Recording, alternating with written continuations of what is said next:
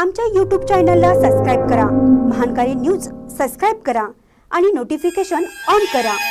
Notification on केल्यामुळे आमचे update आपल्यापर्यंत सतत पोहोचेल. शिरोळ शहरात मोकाट जनावरांचा हैदोस भटक्या कुत्र्यांची वाढली दहशत. शहरात मोकाट जनावरांबरोबरच भटक्या कुत्र्यांचा उपद्रव मोठ्या प्रमाणात वाढला आहे. सध्या शहरामध्ये अनेक वेळा भटक्या कुत्र्यांनी चावा घेण्याबरोबरच नागरिकांवर जीवघेणे हल्ले घेण्याच्या घटना घडत आहेत.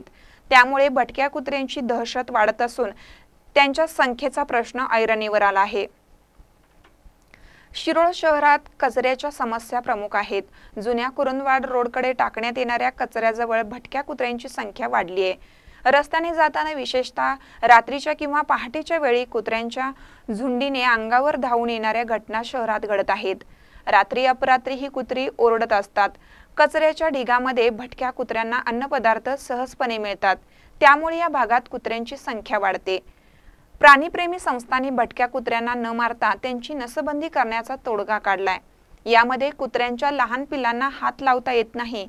त्यामुळे दरवर्षी भटक्या कुत्र्यांच्या संख्येत वाढ होते. त्यामुळेच भटक्या कुत्र्यांचा प्रश्न ऐरणीवर आला आहे. त्यामुळे लहान मुले ज्येष्ठ नागरिक प्रवाशी नागरिकांना त्रास होतोय. महानकर न्यूजसाठी शिरोळहून संदीप इंगळे.